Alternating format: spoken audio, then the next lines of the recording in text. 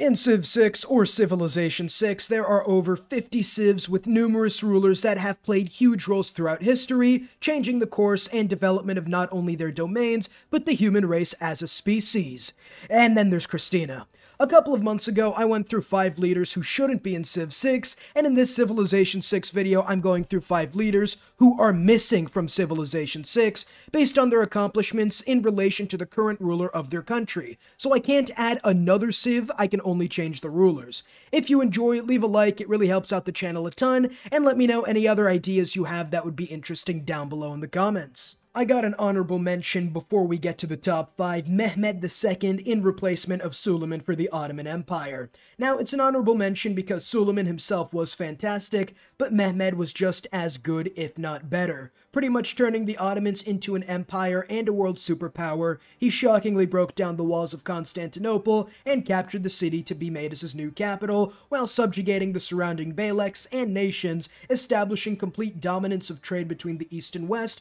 by controlling the Bosphorus and most of the eastern trade routes. Suleiman was fantastic, but Mehmed really set the course of the entire empire, and when you factor in Suleiman's failure at Vienna, not the Winged Hussar rescue but the one before that, as well as the fact that nothing he did compared to capturing Constantinople, is a big part of why I'd put Mehmed instead of Suleiman, especially considering that Suleiman has now been in two straight Civ games, whereas the last time Mehmed was a ruler was as an alternate in Civilization 4. Suleiman still expanded Ottoman control over Europe as well as the remaining holdout islands in the Mediterranean, and even established and instituted a new legal as well as societal, societal reforms that really upticked the Ottoman Empire as the strongest nation on earth at the time. However, the difference between them, in my opinion, is the fact that the Ottomans were stonewalled at Vienna under Suleiman, whereas Mehmed took out Constantinople, which had been stonewalling pretty much everyone for the last thousand years, while turning the Ottomans from a regional power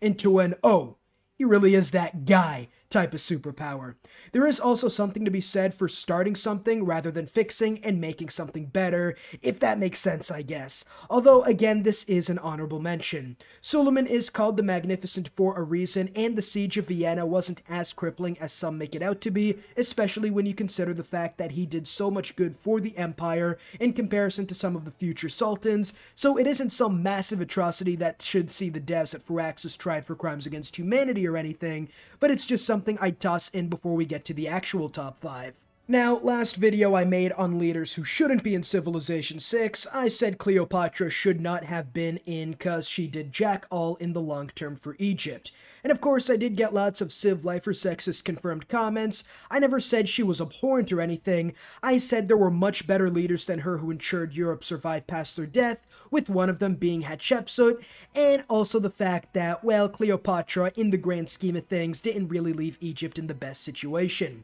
The entire reason Cleopatra was even able to ascend to the throne as a woman is cause Hatshepsut, the first female pharaoh, paved the way being able to secure her leadership role due to her expert trade and economic policies as a priestess, impressing the Egyptian nobility who wanted to get their bands up, while at the same time feigning the fact that she had zero ambition for the throne, making people think, yeah, she's gonna make a great Muppet puppet, before she took over, secured her rule, and ensured the most prosperous rule Egypt had, or up to this point has ever seen her multiple building projects, and most importantly, her mission to the land of Punt being so successful, it opened up trade relations between Egypt and the rest of the world, leading Egypt to economic prosperity never seen before. Her mass great building projects culminated in her mortuary temple being regarded as one of the world's architectural marvels. While not a conqueror, that wasn't necessarily something ancient Egyptians were great or even good at, so her lack of conquest does little against her, as that was really par for the course with most Egyptian pharaohs.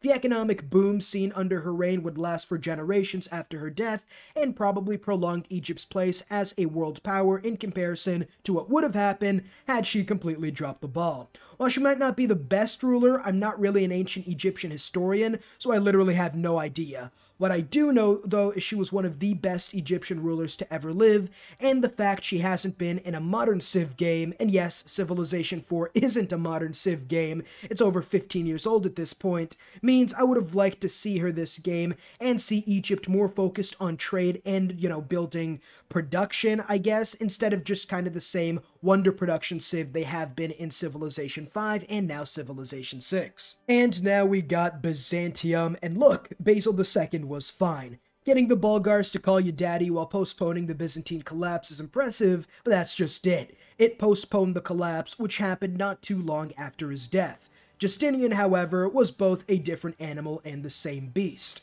As the Byzantine Empire, his rule, along with Theodora, saw the recapture of most of not only the Italian peninsula, including the city of Rome, for, you know, what they called themselves the Roman Empire, this prestigious claim, while good, really pales in comparison to his other exploits in elevating the Byzantine Empire back into really the Roman Empire for a couple of decades, as he developed the economy to ludicrous levels while codifying Roman laws and stabilizing the Byzantine Empire, which at that point had seen better days days at that point, and the construction of the Hagia Sophia really being the hallmark of his exploits as emperor. One of the biggest accomplishments he made, though, is the fact that he reformed the administration and pretty much killed corruption in the empire that really had been occurring for centuries at that point, predating to before the collapse of the Western Roman Empire, even really before the schism that happened between the East and West. At this point, you could no longer buy your way to governorship and actually had to be competent to gain any sort of power.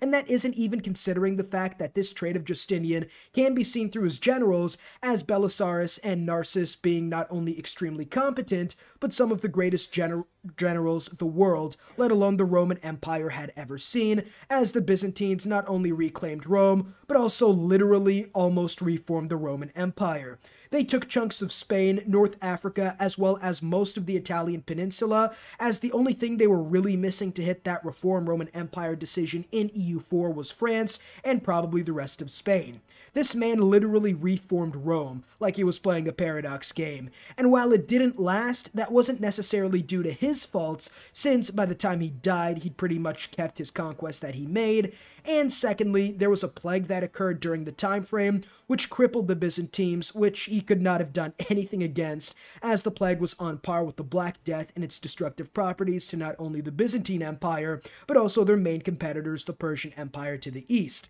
And let's talk about the Persian Empire. Khosrow I and II, widely viewed as some of the best Persian rulers to ever exist to that point, where I wouldn't be surprised if they ruled in Civilization 7 were Justinian's direct competitors as superpowers in the 6th century. And despite all this, he still was able to reform most of the Roman Empire while securing his borders unlike his predecessors against the Persian nation. Imagine what he would have done had the plague nor Persia had been a problem for him. Heck, look at what he did despite those two things tying his hands behind his back. Not only is he one of the best Byzantine rulers of all time, I'd put him right up there with Augustus, Trajan, and Aurelius as some of the greatest Roman emperors to ever live, and because of that, I really feel like he should have been the leader for Byzantium in Civilization 6. And if you are enjoying this video, leave a like and subscribe to not miss out on future content, and comment down below which leader or civ you think should be in Civilization 6, or even in future Civ 7 installments. Now for Arabia. There are some great Arabian rulers throughout history, with Saladin and Harun al-Rashid in previous Civ games, along with others that most people don't even talk about, with the four caliphs, the Umayyad dynasty, the Abbasids, as well as the rulers of Iberia. So let's talk about the first great Arab dynasty after the first four caliphs, Muawiyah Abu Sufyan, the founder of the first Umayyad dynasty. He started rising through the ranks as governor of Syria while taking on the formidable Byzantine navy, which the Muslims were never really able to compete with up to that point, and he ended up beating them. After the assassination of Ali, he was able to avoid a civil war and proclaim himself caliph of the new Umayyad Empire. While he didn't necessarily completely avoid one, he was able to convince Ali's son to abdicate, thus paving the way for him as the ruler without a prolonged and deadly civil war, as seen in the future of this empire as as well as in previous empires like the Byzantines or even the Persians. While he did change the caliph to a kingship instead of through democratic, semi-democratic rule as had been tradition, this was going to inevitably happen as the empire of Islam at this point was growing too large to have 20 or so men pick a ruler every 10 or 20 years. He moved his capital to Damascus and established the city as one of the largest and most important throughout history until around the Mongol invasion. Not only was he able to save the Islamic Empire from fracturing that early on, but was also able to continue the mass string of conquests throughout North Africa, Anatolia, almost taking Constantinople but was stopped, while continuing to push through Persia. While not the perfect ruler, especially considering he placed his son on the throne, which, uh, you know, his son wasn't really the best ruler after him, this is about his accomplishments, which also include taking the Byzantine and Persian administrative systems and establishing them in conquered territories, reducing rebellions, and helped tremendously in integrating the newly conquered provinces into his empire. At the peak of the Umayyad dynasty, they controlled an empire from the lands of Persia to the east, all the way to most of Iberia and parts of France to the west, being able to continue Islam's meteoric rise after avoiding a potential deadly civil war, which would have crippled Islamic expansion and probably left it as a minority of sorts type of religion centered around the Arabian Peninsula instead of a world religion. Think of it as the difference between being as widespread as something like Hinduism or Shintoism, mainly regional religions, as opposed to something like Christianity being practiced throughout huge chunks of the world with Frederick Barbarossa leading Germany quote unquote in Civilization 6, despite being the Holy Roman Emperor centuries before Germany became a thing, I think we can add a Prussian king as a potential ruler in Civilization 6, and for that I pick Frederick the Great, the man who reformed the Prussian military from your run of the mill European army run mostly by mercenaries, and, you know, being able to win wars here and there, but nothing too special, into this absolute Giga Chad military force able to fight forces 69 59,420 times their size and wiping them out with zero casualties and back home in time for dinner. While that may have been a slight exaggeration, his rule led to Prussian military tradition being established and lasting all the way until really the end of the Second World War, where the Allies partitioned Germany and said no more wars. The basis of Germany's insane military capabilities and strategies really stems from Frederick and his reforms for the Prussian army, which led him to dominate Austria in the conquest of Silesia, and eventually allowing the North German power to compete with Austria's monopoly in the HRE. And while his exploits in the Seven Years' War is way too overplayed, since Austria, Russia, and France tag teamed to run a train on his army and territory until Peter took control of Russia, and I'm not joking, and this isn't Peter the Great, this is Peter the Third, by the way. I'm not joking at all of what I'm about to say. Not only made peace, but also gave his armies over to the Prussian control, pulling in Italy and switching sides, despite the fact that they were extremely close to forcing a surrender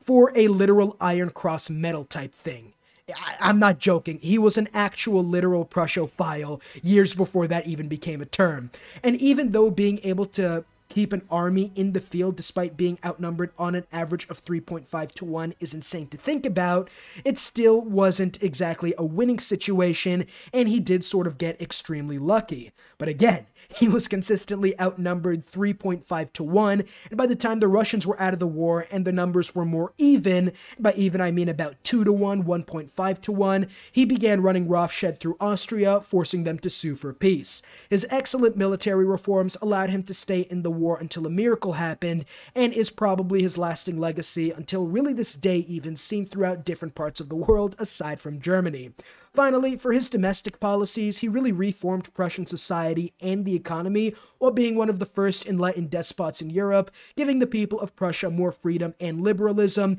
increasing free thinking, which in part led to the rise of Prussia as the main German power and eventually led to them being the force behind German unification in the late 19th century. And finally, we have Meiji, the greatest Japanese emperor to ever live. Meiji is one of the greatest monarchs really to ever live, changing Japan from an agricultural society to an industrial and military East Asian superpower, as he was able to send Japan over the edge, allowing them to beat empires multiple times their size, such as Russia and even China, conquering resource-rich Manchuria and Korea in the process. The Meiji Restoration allowed the emperor to take power back to the emperorship instead of the daimyos and shoguns, as well as instituting reforms to really break Japanese isolationism and allow them to develop an industry and modern army faster than really any other southeastern nation, and even Russia, honestly, who was one of the only European nations to never really industrialize up until now. Well, he did, kind of like Frederick, lead to Japanese power, which allowed future generations to commit atrocities against China and Korea, it's kind of unfair to pin it on him for being such a good monarch rather than the actual perpetrator of said atrocities.